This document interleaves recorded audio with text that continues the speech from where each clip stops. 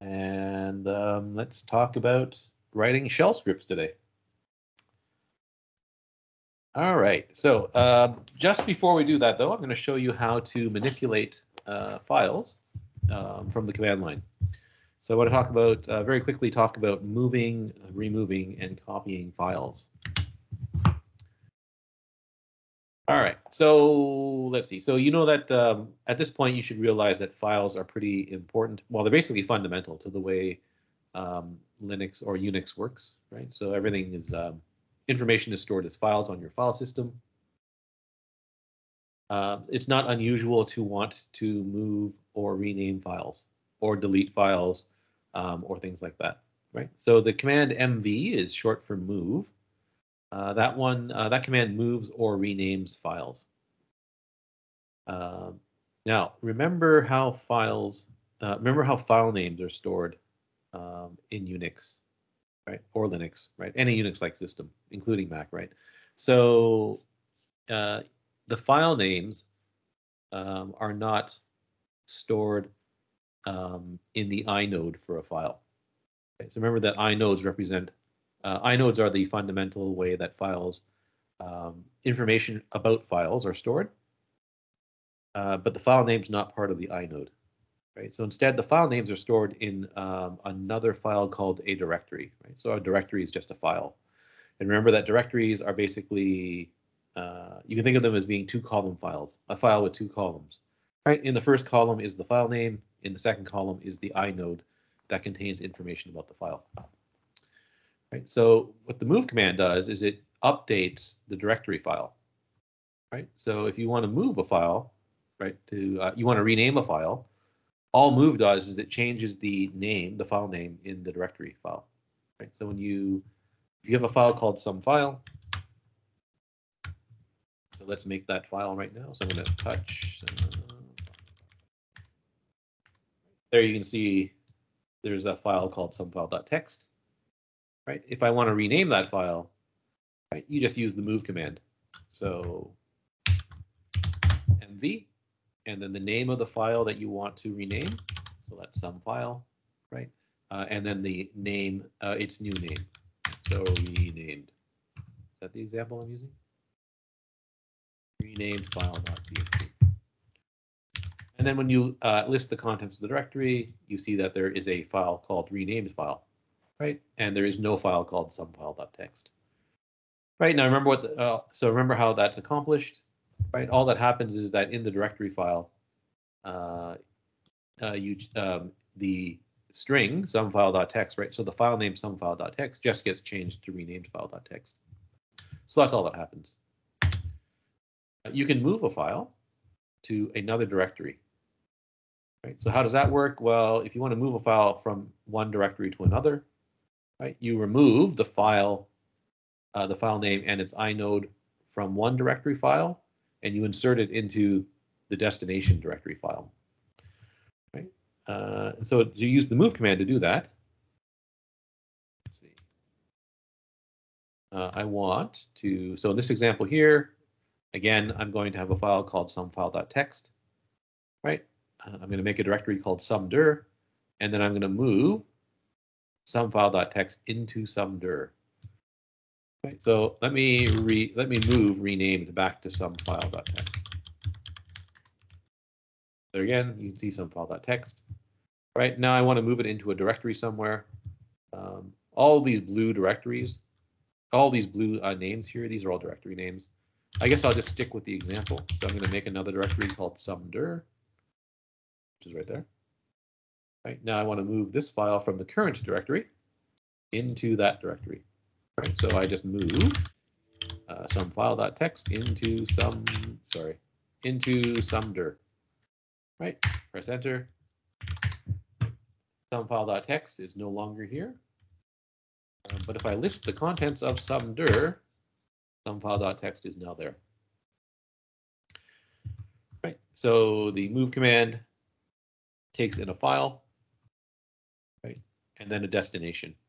Right? The destination can be another file name or it can be uh, a directory.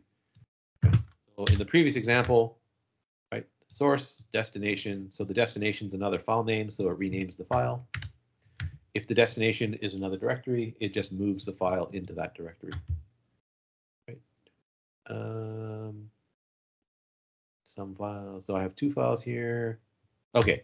Uh, now you can pass in a bunch of files and move them all to the same directory.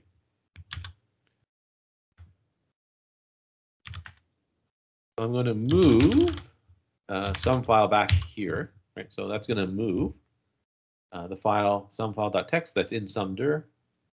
Dot is the current directory, so it's going to move it back into this directory.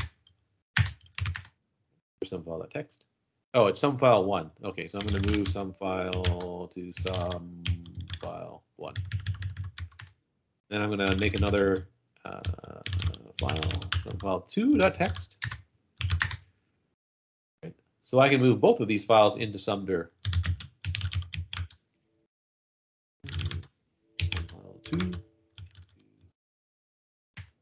And both the files are gone. And if you look in sumdir, you can see both files there. Now there's another way to do this. Well, there's actually several ways to do this. So let me move both of those files back to here, right? So I can use a wildcard. Uh, sorry, I can use a path name expansion here.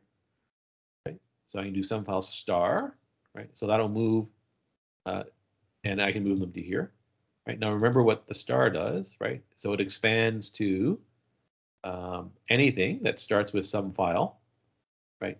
Uh, uh, followed by anything else, right? So anything that starts, uh, so some file star expands to some file followed by anything.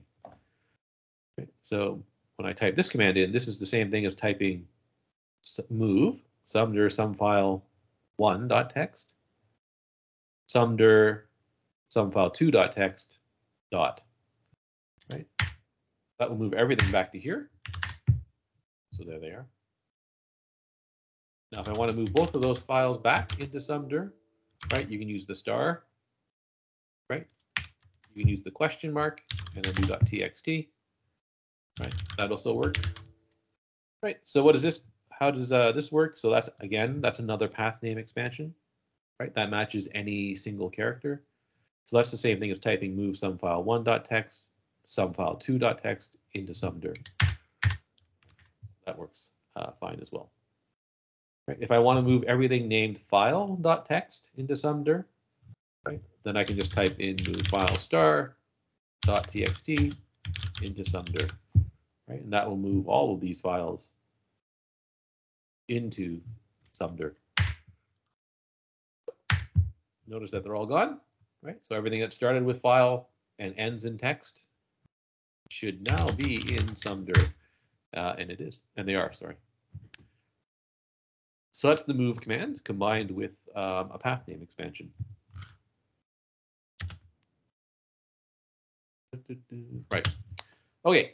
Um, if you want to remove a file, uh, then you just type in RM, right? So RM is short for remove, uh, and then the uh, list of files that you would like to remove. Right. So in this example here, we've got uh, three files: some file, some file one, and some file two dot text. I can remove one of those files if I want, um, or I can remove multiple files uh, if I want. And again, you can use a path name, uh, you can use a path name expansion here. Right. So let's look at this example here, uh, and I'll show you what minus i does. Well, let me. I guess I should do both uh, so that you can see how it works. So I'm going to touch file txt file one and some file two. Right. So there are my files. Now, if you just type in uh, remove on its own, right, and press enter, uh, so it doesn't ask you if you actually want to make this change, right? It will remove the file. So if I do ls, it's gone. Right now, when you remove something in Linux uh, or any Unix-based system, uh, there's no going back. Right? It doesn't go into a recycle bin or a trash can or anything like that. Right? Uh, it's gone. Uh, now, technically the contents are still on your disk, right? Unless it's been overwritten by something else. Um, but there's no easy way to get back a file once you've removed it. So you have to be a little bit careful with the uh, rm command. Uh, we can do rm some file uh, one and some file two, and that will remove both of those files. Right, so they're gone now. And I'm just going to recreate them with touch. So there they all are. Right? And you can use a path name expansion here as well. Right? So remove some file star. We'll remove everything right? that starts with some file. So it'll remove these three files here. Gone. Recreate them. Uh, now, um, if you uh, if you want to uh, if you want remove to ask you, do you really want to remove this file? Uh, then you can run remove in um, interactive mode. So that's what the minus i is here. Right. Uh, so if I do rm minus i. Right. Uh, before it removes the file, it will prompt. Uh, do you want to remove the regular empty file some file.txt? Right. Your choices are y and n. Right. So yes, yes, and no. I'd like to keep some file two. And so when you list the contents of the directory, some file one and some file are gone, but some file two is still here. Right. Uh, so that's how that works. Um, a, a lot. I don't know if it's so. When I was an undergraduate student, many, many, many years ago, um, the we so uh, our computer lab uh, so when I was a student, it was not that uncommon for people not to own a personal computer, right? Uh, so the department did in fact have a uh, did in fact have computer labs, and they were all Unix based.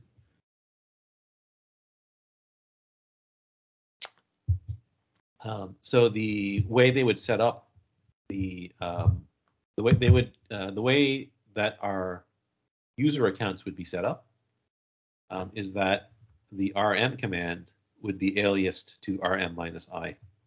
Uh, so you would always it would always ask you whether or not you wanted to remove a file.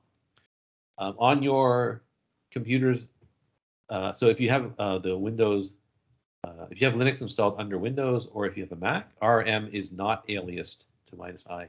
So when you remove it, really will remove. Um, so if you want to, you can you can create your own alias uh, that remaps rm to rm minus i if you like. Now, because you guys have administrator privileges on your own computers, uh, it is possible for you to uh, delete operating system uh, level files. Um, you have to you have to go out of your way to do it, but it is possible to do it. So you have to be a little bit careful when you use RM.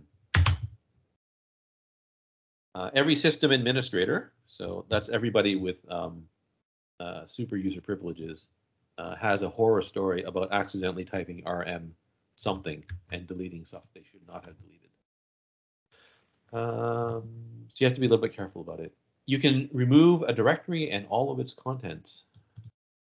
Right, so using the minus R, right? So minus R means recursively remove the directory and all of its contents. If you want to remove a directory, you have to use minus R, if you want to remove a directory and there's stuff in the directory, right, and you really want to remove the directory and everything that's in it, uh, you have to use minus R. There's another command called rmdir, but that only removes an empty directory. Right there. Uh, you can remove an empty directory using that command right there. Minus R will remove the directory and everything that's in it recursively, right? So if there's directories in that directory that you remove, it will also remove those directories and everything inside the subdirectories. So in some dir, sorry, right, we've got a bunch of stuff uh, you know what? I'm going to go into some dir and make some more directories. Make dir. I've got, uh, oh, sorry, I wanted to do like that. Right, so I've got 10 subdirectories in some dir. I'm going to go one directory. Okay, so I'm back up in uh, my XYZ directory.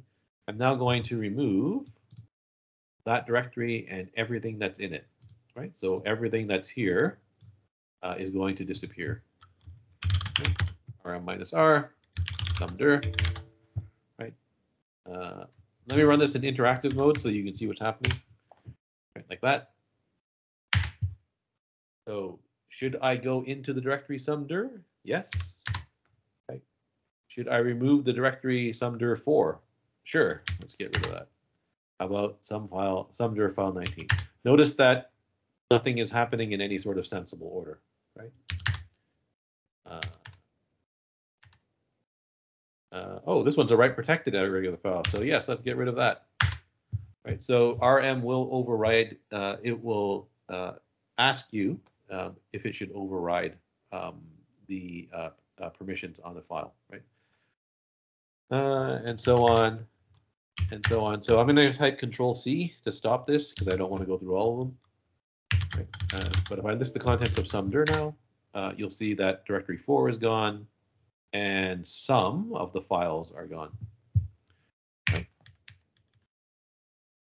I don't run in interactive mode, oh, uh, I don't run in interactive mode and there is a write protected file, uh, RM will ask you whether or not to over, uh, to, re, uh, to remove it. So I'm just going to remove everything. Did I really? Okay, there we go. Okay. Now you'll see that sumdir is gone right? And all of the files and directories that were in sumdir are also gone. Um, let's see. So let me make another directory again. Okay, so sumdir is a directory. It's empty, so there's nothing in it because I just created the directory. Uh, you can use rmdir to remove an empty directory, right? And that disappears. Again, so that uh, removes sumdir. If there's something in it, so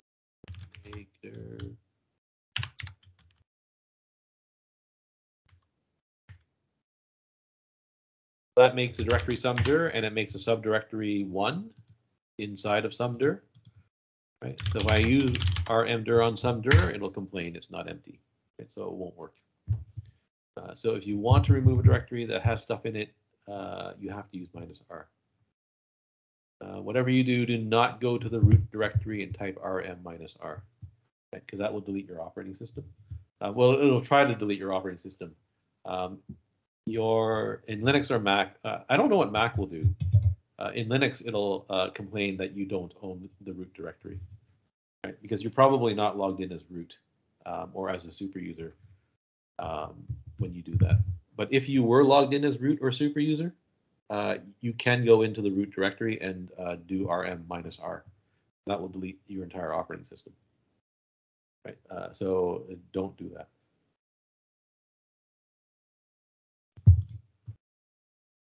Okay, copying files. Uh, so CP is the file that copies files um, and or directories. Uh, so you, it works the same way as, um, it works in a similar way as uh, move and uh, remove. Right. So if I want to copy, I have a file called some file here. I can copy some file uh, to another file called copyfile.txt, right? And you'll now you'll now have two copies um, of the same file. Uh, copy will overwrite an existing file. So if there's already a file called copy file, uh, then copy will overwrite the existing file. So, uh, we have some file. Well, I've got some file two here. So let me copy that uh, onto something else, onto copy. Now you can see that uh, there's that file there and there's that file there. Um, now it actually makes a copy of the contents. So I'm just going to quickly edit some file two.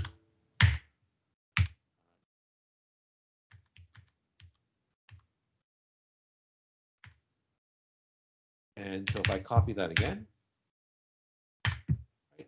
uh, if I ask or if I print the contents of some file two, you can see it's A, B, C, D, E. If I print the contents of copy uh, .text, it's also A, B, C, D, E. They are independent copies. So if I edit some file two,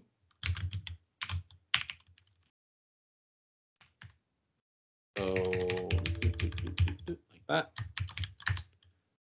right? Um, so some file two, I've deleted the first three lines of some file two. Uh, the copy doesn't change. Right? So they are in fact independent copies. Uh, you can move, uh, sorry, you can copy a file into another directory as well.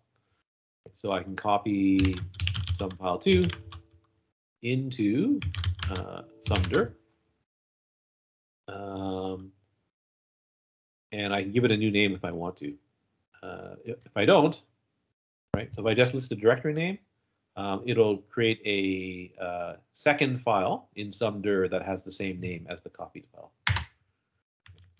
So in sumdir, I now have a copy of the file sumfile2.txt, right? And they are identical. Uh, their contents are identical.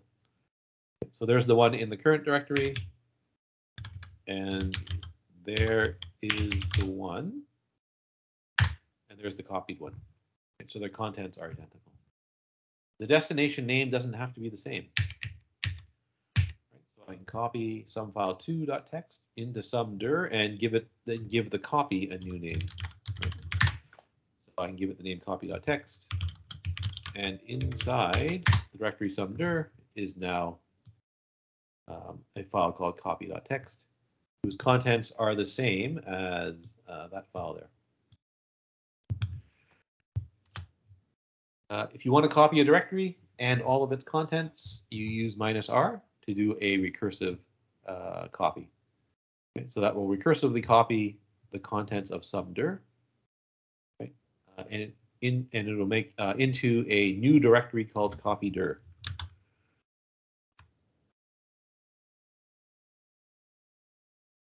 Okay, so here's sumdir. Okay, I want to make a a copy of that directory and all of its contents, and I want to call the copy copy to dir. So I just cp minus r sumdir and copied. Uh, let me call it like that. Right, like that.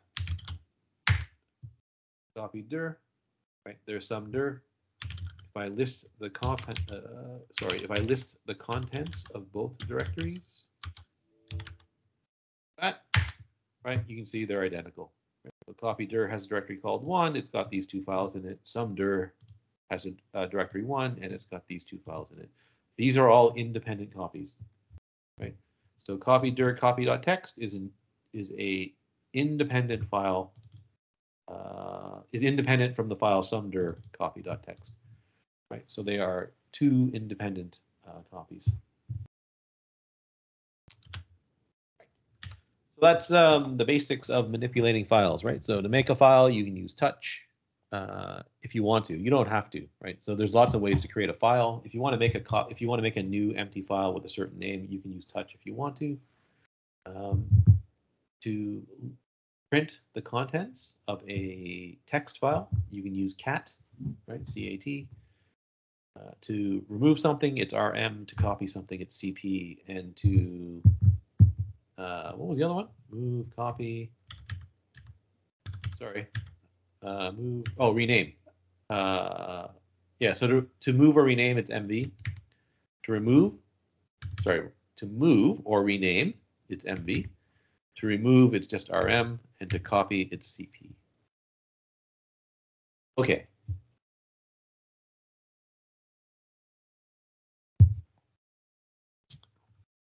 Um, so that's the basics of working on the command line. Now, obviously, there's many, many, many, many other commands um, that we haven't uh, that uh, that exist, right?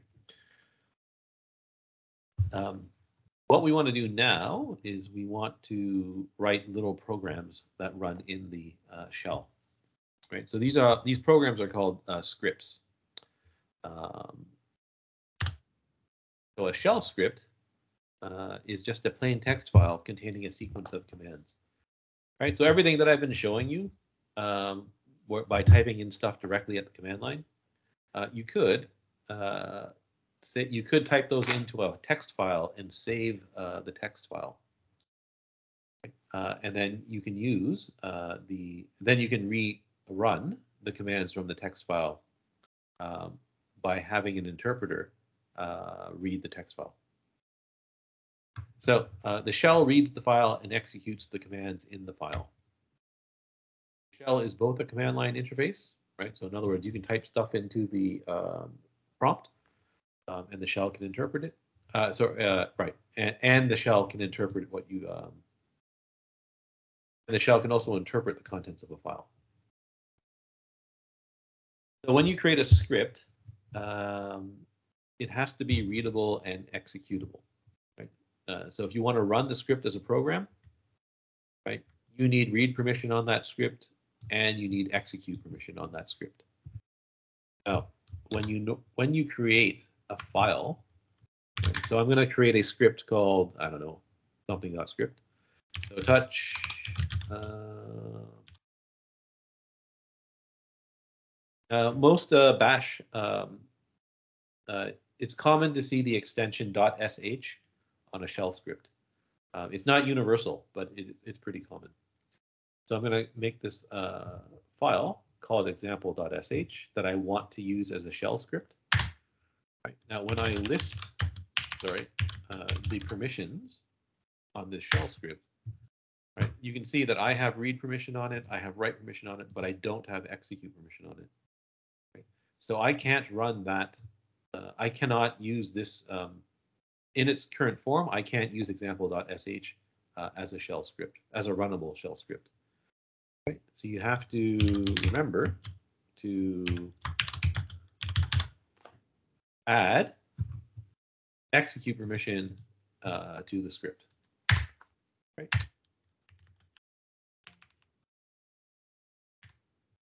Uh, now, uh, I will be able to, uh, I can at least attempt to run this as a shell script.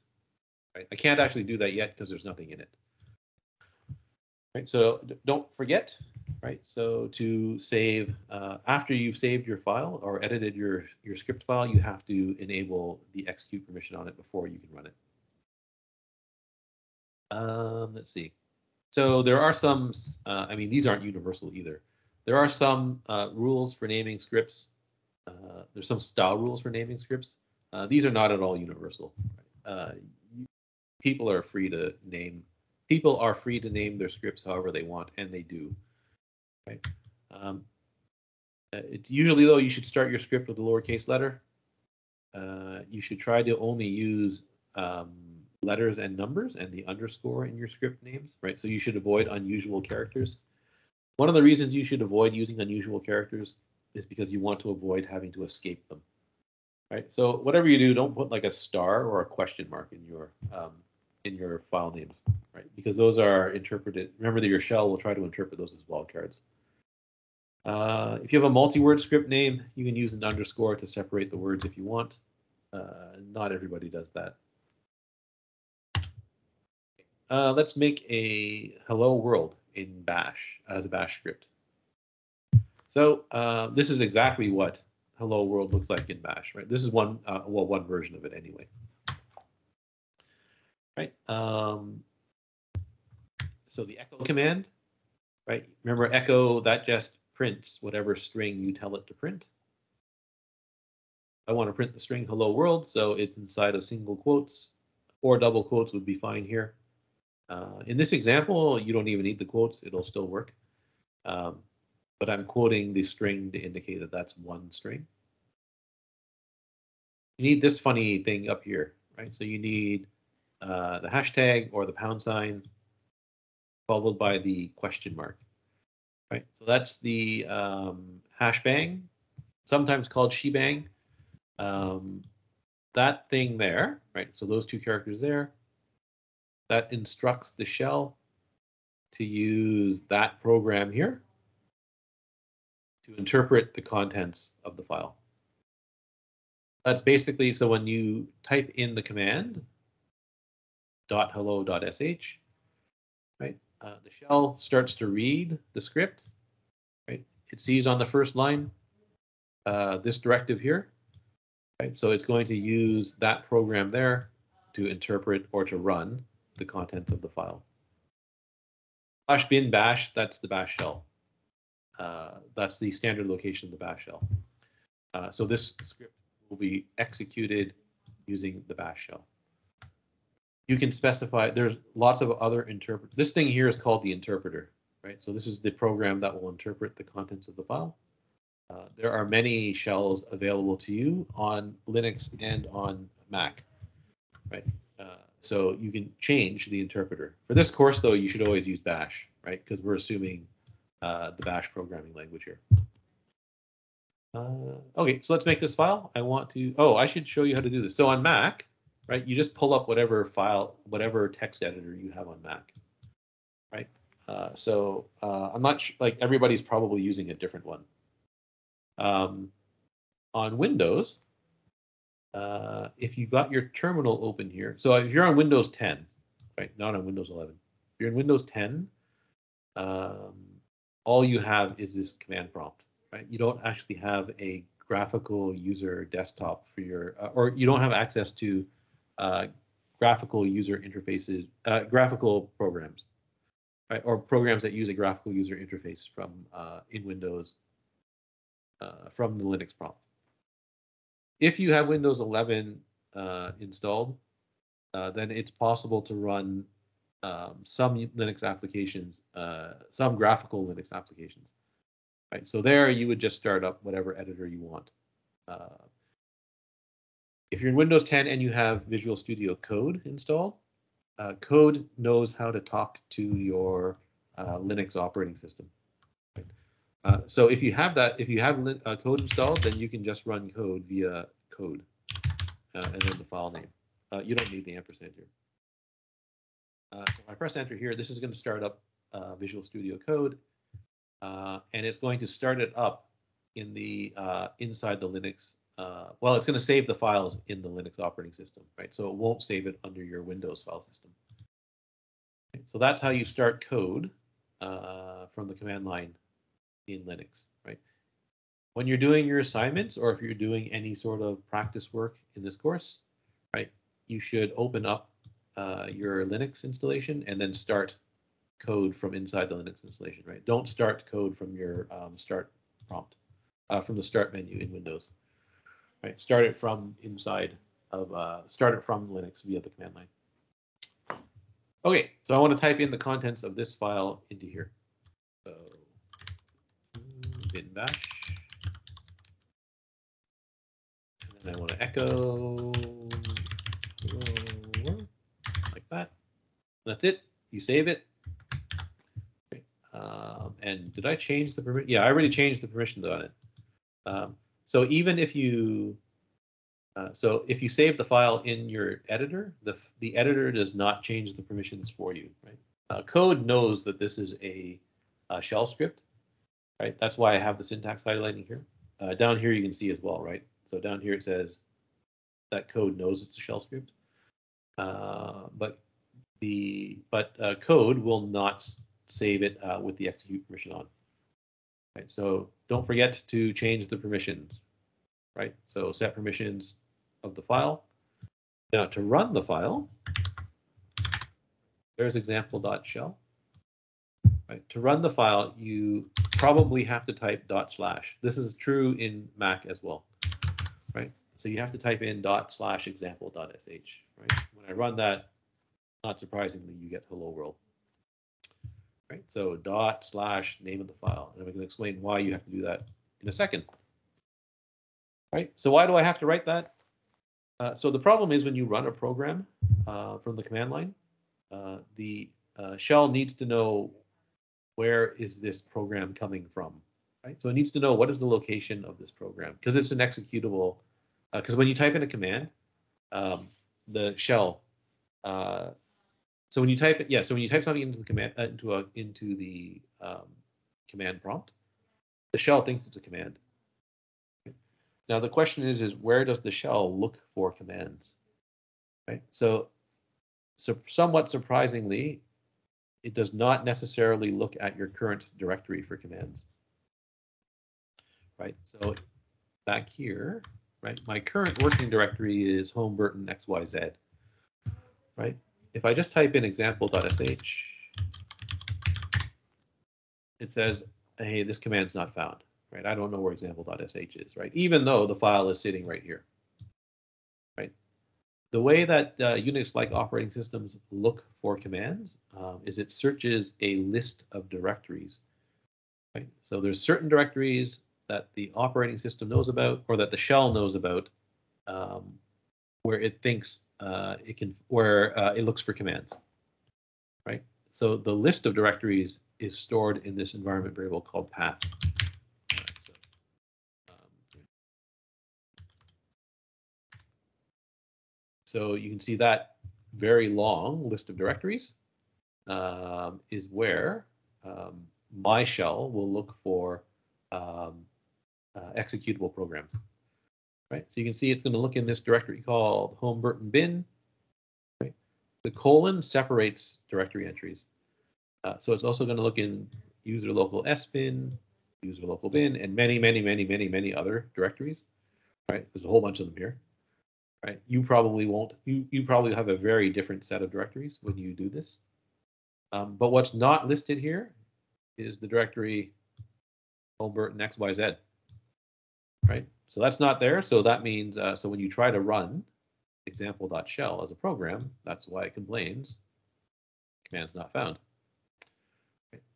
Uh, so you can tell it where the command is by prefixing the command name with the directory name, right? Or with a path name, right? So dot is the current directory, right? So dot slash example dot sh means look in the current directory for the executable program example dot. If you want to, uh, so that's using a relative path, right? So dot is relative to the current directory. Dot means the current directory, right? So dot example.sh means look in the current directory. Uh, if you want to, you can use an absolute path. Right? So I can use that instead. Uh, so that also works. Right. Um, no matter how you do it, though, uh, the shell needs to know where is this executable program. Right. If it's located in a directory that's not on the path, you have to tell it where it is. Right. Either using a relative path or an absolute path like this right? Um, you should probably generally avoid absolute paths uh, because um, that uh, if you use an absolute path, it's not portable, uh, right? Because if you try to run this on someone else's computer, it's probably not going to be in that directory there. It'll probably be somewhere else. Uh, there's the other way to print path, right? So this is another way to do it. Um, I can use the echo program.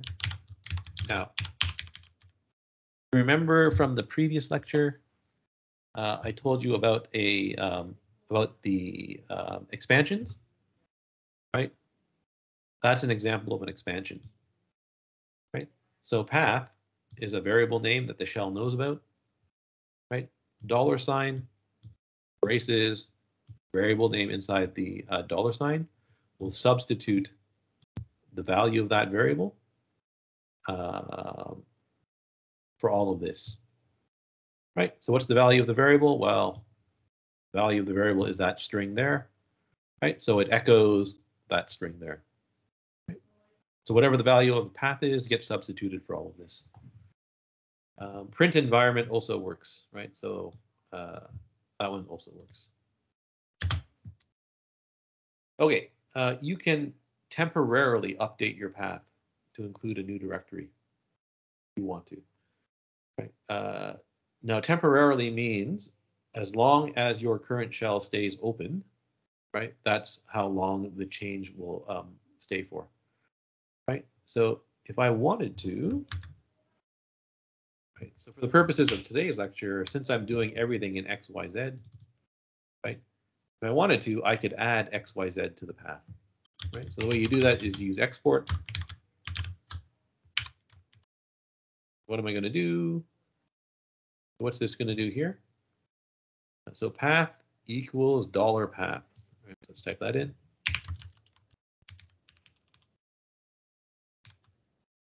Okay, so this works exactly the same way as how I just explained it, right? So that's an expansion. Right? So the value of path gets substituted into here, right? So this string gets substituted here. Okay. Uh, oh, sorry, colon. I'm gonna colon, uh, and now I'm just gonna type in the full path name. Right, so I'm gonna type in home Burton X, uh, XYZ. Right. Uh, so remember, in the path, in the list of uh, directories in the path, the colon is used as the separator, uh, as the directory separator.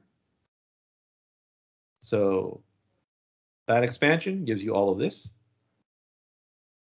right? And then colon, home Burton XYZ is going to stick colon, home Burton XYZ to the end of the string. And then it's going to take all of this and assign it back to the variable path. Okay. So when I type in that, and then I do print environment, you can see at the end of the path is now that directory. Right now, I can just type in example uh, like that. Right, and now it works. If I close this shell, that's no longer there. Right, so that's why I say if you want to temporarily do this, uh, you can uh, you can do this. Right, so if you're working on an assignment or something, uh, and you get tired of uh, typing in dot blah every time, then you can update your path. Probably easier to just to type in dot blah. Um, now that doesn't always work, so sometimes you do want to update your path because um, you might get an assignment where uh, you need to run a shell script that's in another directory um, or something like that, right? Or you need to uh, you need to change to a certain directory, but you still want to run a script uh, that's in your assignment directory. Uh, now, if you want to set up, uh, so you you can change, you can make the change. Um, not per, well, you can make the change so that every time you open up a, a shell, uh, your path contains um, a particular directory. Right. So if you want to do that, you can update the file or you can create the file dot .bash profile in your home directory uh, so that it includes uh, a path uh, so that it updates the path and adds the directory of your choosing. Right. So for example, if you wanted to put all of your scripts into a directory called cisc220 slash bin, right, where cisc220 is in your home directory, right? You can add this line to your bash profile. Um, and every time you open up uh, a bash shell, right, uh, that directory will be added to your path, right? It'll be part of your path. That way, that lets you that lets you put all your shell scripts into this one directory. So, for example, I think mine's already updated.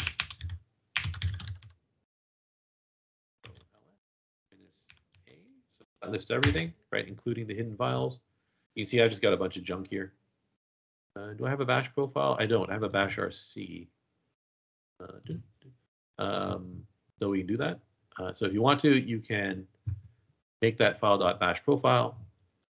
So you do something like touch.bash profile. And then you would edit it.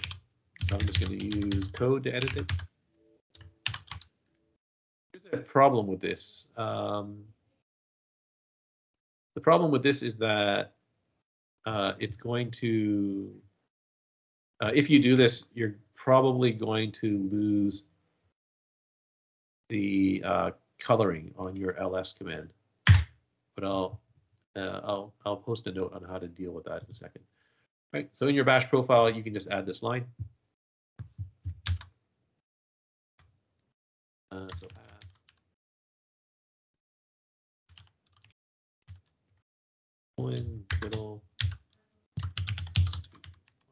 And then, so you can call this whatever you want, right? Wherever your cisc220 directory is, uh, just put in uh, that directory name, right? So this says my home directory, sys220, right? I'm going to make a directory called bin, uh, or I'm going to say, uh, uh, let's uh, add the bin directory to the path.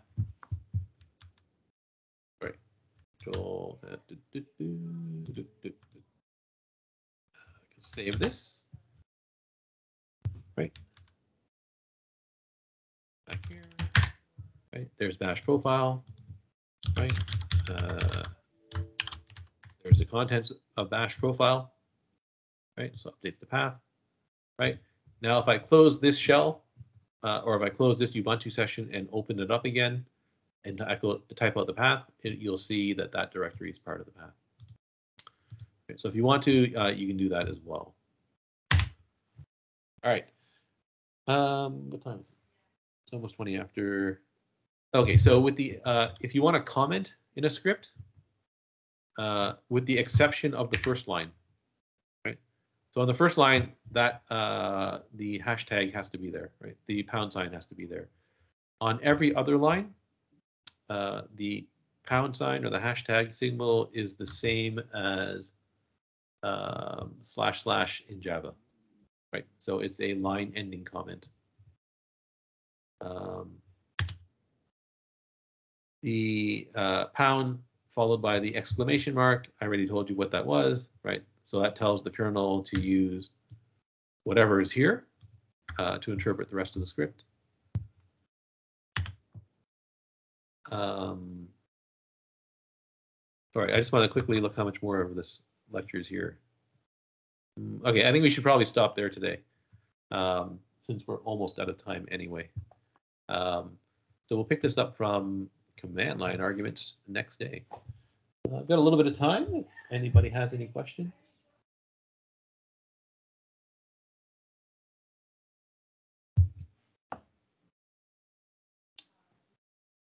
Okay, I'm not seeing any questions. Uh, so we'll call it a day there and um, I will see you uh, in a couple of days.